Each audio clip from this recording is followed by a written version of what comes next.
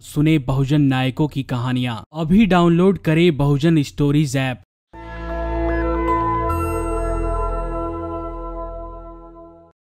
Patreon और अन्य माध्यमों से नेशनल दस्तक का सहयोग करने वाले सभी दर्शकों का बहुत बहुत शुक्रिया। आपके सहयोग से ही बहुजन मीडिया को नई ऊंचाई मिल रही है और मनोबल और अधिक बढ़ रहा है। आशा है आगे भी आप हमें ऐसे ही सपोर्ट करते रहेंगे। धन्यवाद। उत्तर प्रदेश गाजियाबाद के मोदी नगर में बहुजन समाज के लोगों के खिलाफ सोशल मीडिया पर एक शख्स ने पोस्ट किया, जिस पर बहुजन समाज के लोगों ने तहसील में जोरदार प्रदर्शन किया। इन लोगों का आरोप है कि सोशल मीडिया पर विवादित पोस्ट करके बहुजन समाज की भावनाओं को आहत किया गया है। सोशल मीडिया पर टिप्पणी करने वाला शख्स कृष्णा नगर का बताया जा रहा है। आपको बता दें कि उत्तर प्रदेश में खास समाज के लोगों के साथ शारीरिक रूप से अत्याचार तो किया ही जाता है। वहीं अब इन लोगों के खिलाफ टिप्पणी भी देखने को मिल रही है, जिसके बाद अलग अलग सामाजिक संगठनों से जुड़े दलित समाज के लोग बृहस्पतिवार को तहसील पहुँचे। खास समाज के लोगों ने कृष्णा नगर के शख्स पर सोशल मीडिया पर दलित समाज के लोगों पर अभद्र टिप्पणी करने का आरोप लगाया। उन्होंने कहा कि आरोपी बिना वजह दबाव बनाकर शहर का माहौल बिगाड़ने का प्रयास कर रहा है। ऐसे लोगों के खिलाफ सख्त कार्रवाई होनी चाहिए।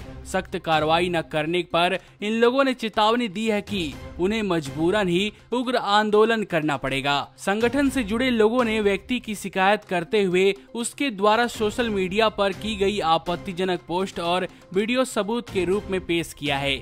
वहीं इस मामले में मोदी नगर के सीईओ प्रभात कुमार ने कहा, किसी को भी किसी भी समाज पर गलत टिप्पणी करने का अधिकार नहीं है। साथ ही इन्होंने इस मामले में रिपोर्ट दर्ज कराने का आश्वासन भी दिया है। इस प्रक्रिया के दौरान संगठन से जुड़े कुछ लोग मौजूद थे।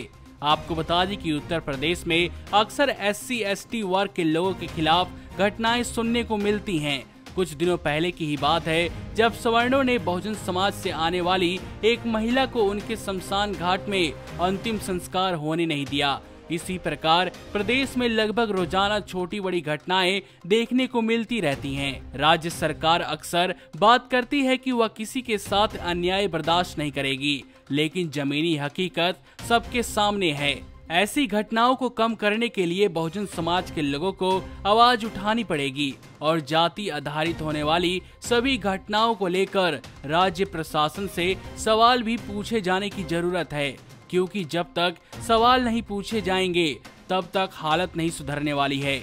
बार बार सवाल पूछकर ही सरकार पर दबाव बनाया जा रहा है, जिसके बाद शायद सरकार इस समाज के लोगों के साथ होने वाली घटनाओं पर ध्यान देगी। नमस्कार। नेशनल दस्तक अपनी आर्थिक जरूरतों को पूरा करने के लिए अपनी ऑडियंस पर निर्भर है। बहुजन समाज से संबंधित मुद्दों को उठाने के कारण यूट्यूब की तरफ़ से नेशनल दस्तक की कई वीडियो पर एड्स नहीं दी जाती, जिसके कारण हमें आर्थिक समस्याओं का सामना करना पड़ रहा है। आपका एक छोटा सा कदम बहुजन मीडिया को बचा सकता है। आपके सहयोग और सहायता के कारण ही हमने अभी तक यह मुकाम हासिल किया है। नेशनल दस्तक को आप पेट्रियोन के ज़रिए सपोर्ट कर सकते हैं। इसके साथ ही आप अन्य माध्यमों जैसे UPI Google Pay debit card, wallet, PhonePe आदि से भी हमारी मदद कर सकते हैं, जिसका लिंक वीडियो के नीचे डिस्क्रिप्शन में डाल दिया गया है। पैट्रियन पर आप हमें प्रति माह दो डॉलर यानी एक सौ प्रति माह से हमारे साथ जुड़ सकते हैं। दूसरे माध्यमों में राशि की कोई सीमा नहीं है। आपके सहयोग से ही बहुजन मीडिया को एक नई दिशा मिली है और इसे अभी एक नए मुकाम तक लेकर जाना बाकी है, जो आपके साथ के बिना संभव नहीं है। आपसे डायरेक्ट फंडिंग से हम आपके अधीन हो जाएँगे और एक स्वतंत्र मीडिया के तौर पर समाज की आवाज़ को बुलंद कर पाएँगे। धन्यवाद। नेशनल दस्तक को देखने वालों से अपील है कि वह नेशनल दस्तक के सपोर्टर फॉर्म को भरें ताकि हम सीधे आपसे जुड़ सके। नेशनल दस्तक की आपसे गुजारिश है कि अगर इसको बचाना चाहते हैं तो नेशनल दस्तक को सब्सक्राइब करने के लिए रेड कलर के सब्सक्राइब बटन को दबाएँ, फिर बेल आइकन की घंटी दबाएँ। नेशनल दस्तक को बचाने के लिए बहुत ज़रूरी है कि हर खबर को शेयर करें, लाइक करें, कमेंट ज़रूर करें।